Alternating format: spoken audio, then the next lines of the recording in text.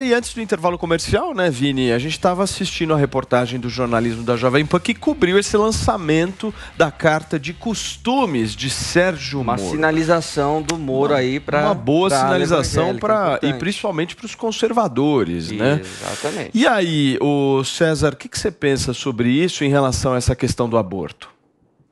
Eu sou a favor, eu sou a favor do aborto. O aborto de forma uh, institucionalizada já acontece, porque você tem clínicas particulares que fazem isso, todo mundo sabe. Todo mundo sabe, independentemente de gostar ou não, existe. Uh, existem diversas clínicas nesses bairros mais nobres de São Paulo. Todo mundo sabe, todo mundo sabe o valor, enfim. Uh, se você pertence a, a, uma classe socioeconômica mais abastada, você, você já tem direito ao aborto. O que acontece é que é uma pauta moral. E é curioso, veja, que é uma pauta moral que vem. É uma vida de uma, é uma... pessoa. Não, peraí, Adriles. É, é, é, é, curioso porque é uma pauta moral que vem de uma parcela da população que te acusa de querer lacrar, que te acusa de identitarismo, que te acusa disso de, e, e, em seguida te diz o, o aborto porque é uma questão de não sei o quê. Veja, eu não vejo essas pessoas preocupadas com a vida humana em várias instâncias. Agora, mexeu com pauta Todas que remete à Igreja Católica, com o conservadorismo e, e, e com a pauta Pauta moral. de vida, César, não é Igreja Católica, é uma vida de uma criança. É a coisa assim. pega fogo, entende? Então, de muitas maneiras, cara, a, o, o, o, aborto ele já é uma realidade para quem tem grana. O homicídio pra também. Consegue...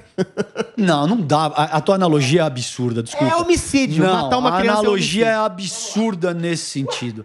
Veja, e, e, é, essas classes que moram, as pessoas que moram no Jardim Europa, na Vila Nova Conceição, querido, elas já fazem aborto com alguma frequência e fazem com toda a segurança e com todo o conforto e sem cair no rechaço seguro. que a po... bom aí, aí você Deixa classifique como você falar, você também. quiser de César. muitas maneiras isso já acontece Só- e acontece Perfeito. no nível Só institucional para entender, e esse movimento do Moro, rapidamente, um comentário seu, em direção justamente a essa linha mais conservadora. Veja, a gente estava discutindo aqui, eu estava conversando com o Zoe e com o André, eles que todo mundo quer lacrar. Todo mundo, Paulo, que está metido com política institucional precisa de protagonismo social. Todo mundo que trabalha com mídia precisa de audiência. É inútil negar isso, é infantil e é um tanto quanto irritante essa ingenuidade. Porque assim, ah, você quer lacrar, ah, eu quero audiência. Todo mundo quer protagonismo social e eu concordo com o Adriles. Existem níveis e níveis do que você vai fazer para obter. Prejudica o- pessoas, a lacração Sim, é sem só, o dúvida, problema mas- é só esse. Você Sem acha que o que dúvida. o Moro está querendo é lacração? Não tenha dúvida, ele não tem o que apresentar, cara. Zoe. Olha, o Moro. É impossível uma pessoa mudar da água para o vinho como o Moro. Quando ele era ministro da Justiça, se cercou por pessoas progressistas, tá? Todo mundo que trabalhou com ele, é, ou perto, enfim, né, no, no governo Bolsonaro, sabe disso. Agora, sabe que dá voto, né? Cristão, né? No Brasil, ser cristão dá muito voto. Então, ele está agora tentando passar essa, esse ar de, de conservador.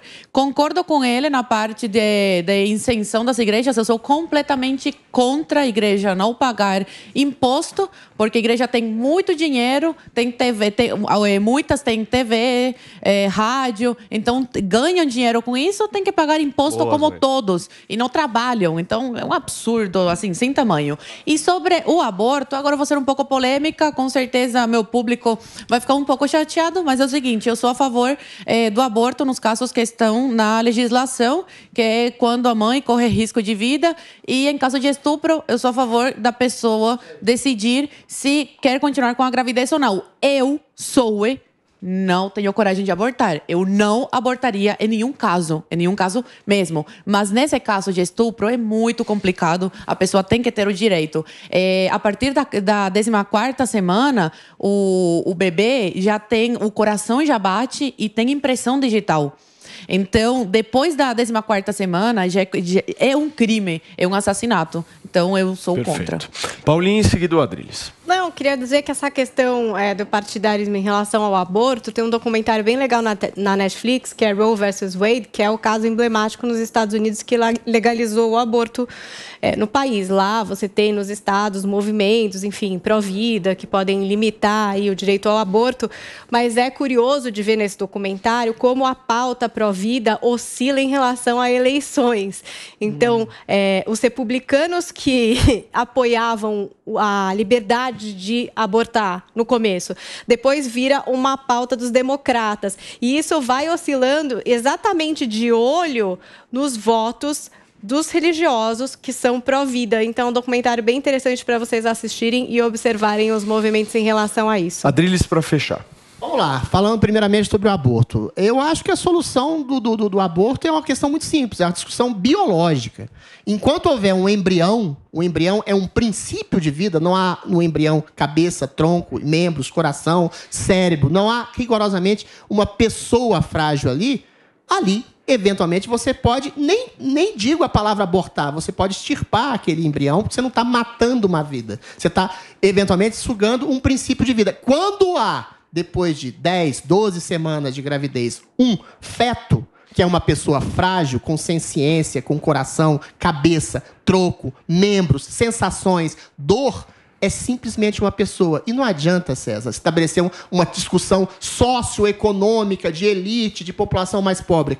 Assassinato é assassinato. Você pode dizer o seguinte: uma pessoa que tem paralisia cerebral, que é tetraplégica, que tem problemas psicológicos, ela pode ser morta? Nunca. Da mesma forma, um feto frágil do jeito que está não pode ser morto. Eu concordo em partes com a, com a, com a Zoe em relação à questão de, uh, de, de, uma pessoa, uma mulher que foi estuprada ou de risco de vida da mãe, mas mesmo assim, isso é que é muito triste, continua sendo um assassinato. Ou seja, eu não quero que uma mãe leve na barriga durante nove meses um fruto de um estupro, de uma violência cruel que vai destruir a sua psique, mas continua sendo um assassinato. O aborto é o assassinato a um feto. Em relação ao Concordo. Sérgio Moro, em relação ao Sérgio Moro. Eu acho que é muito triste isso, a política estabelecer um princípio oportunista de mudança de ideia. Ah, eu sou a favor do aborto, eu sou contra o aborto. Eu acho, primeiro, essa pergunta é capciosa, é limitante. A gente tem que expandir esse debate em termos biológicos, como eu estou tentando fazer aqui. Agora, em relação a imposto de igreja, eu, o Moro, oportunisticamente, está querendo simplesmente lacrar em cima da população evangélica e ganhar voto. Porque a igreja tem sim que pagar imposto.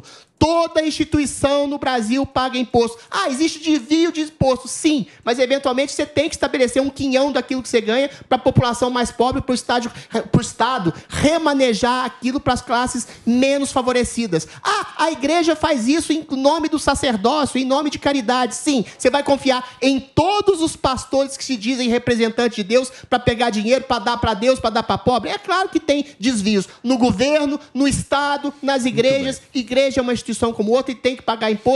O senhor Sérgio Moro quer lacrar e ganhar voto com isso.